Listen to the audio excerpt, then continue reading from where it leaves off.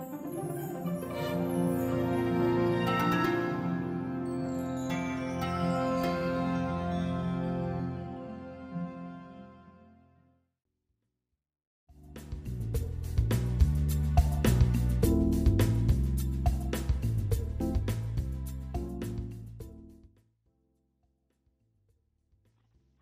following video shows a brief insight into the V&F operator software used within the Premier Guard system. This operator software is designed to be used by plant operators and engineers. The operator software will be installed on the operator PC in the analyzer room of the container. During commissioning, it can also be installed on any other PC within the same network. This start screen is visible for everyone at any time and it shows the complete overview of the main components and their status.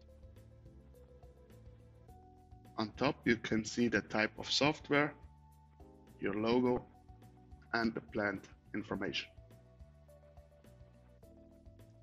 Below that you have different index tabs like Overview, Measure, History, Settings and Premier Guard. The index tabs for Measure, History and Settings will be explained in another short video. On the top left corner, under Last Order, you can see the analysis result of the last measurement with the information of date and time, the automatic generated unique order number, and which sample point has been analyzed.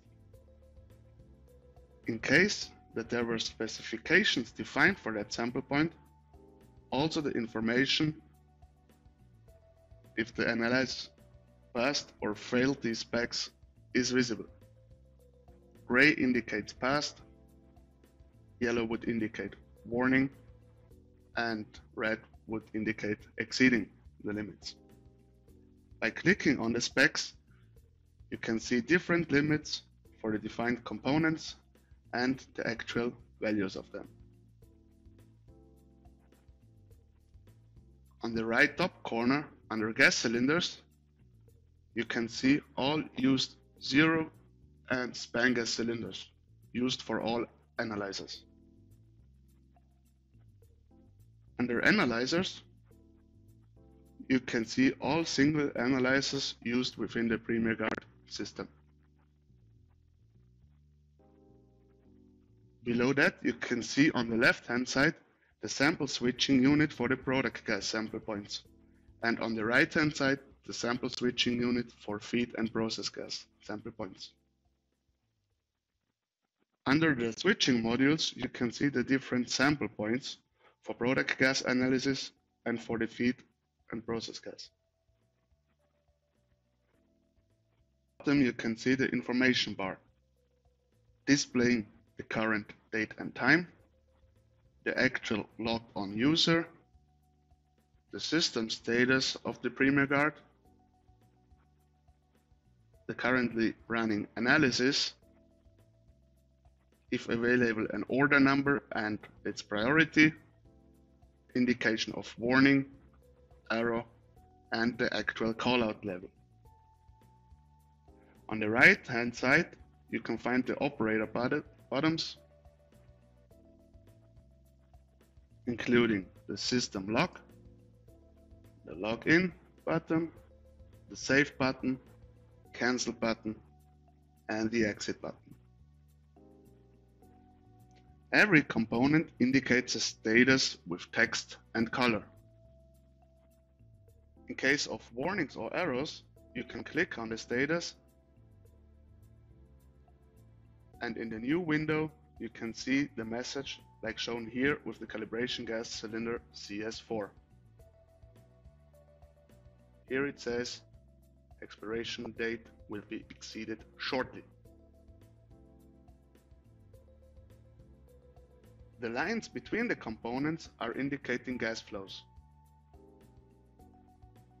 Using this overview, the operator can start analysis of every sample point, start calibrations of all analyzers, change gas cylinders, and adjust purge times for each sample point.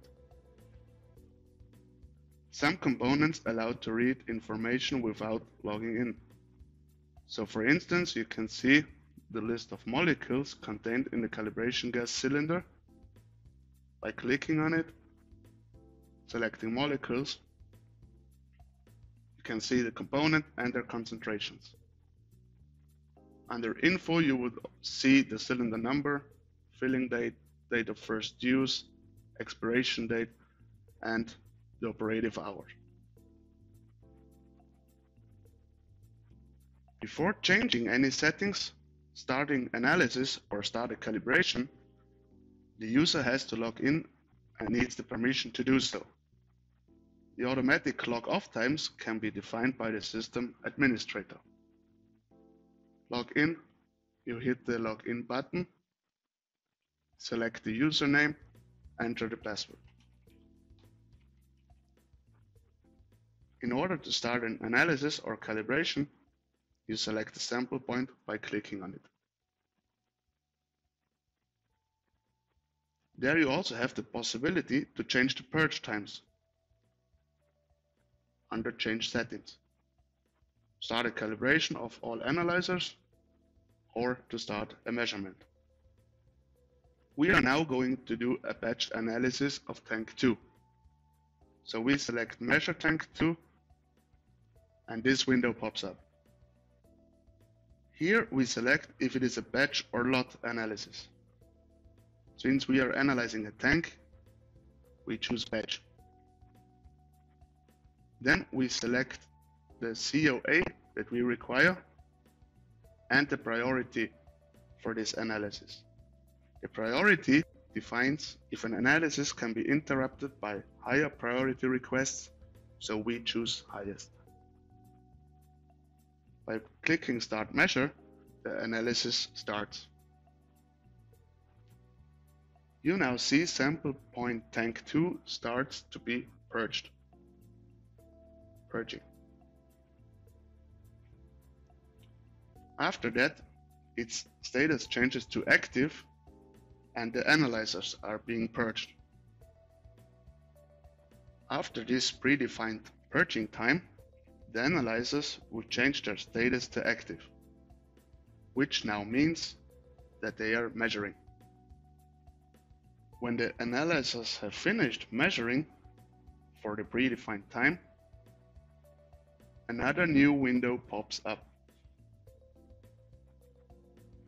In this window, we can see the automatic generated batch number and we have to choose whether foreign appearance, odor, and taste were compliant or not. Then we hit the OK button. And the COA is being sent to the printer. Now we get the information that it was sent to the printer. We confirm OK. In the meantime, the system continued in the auto analysis cycle. I can see here on the bottom.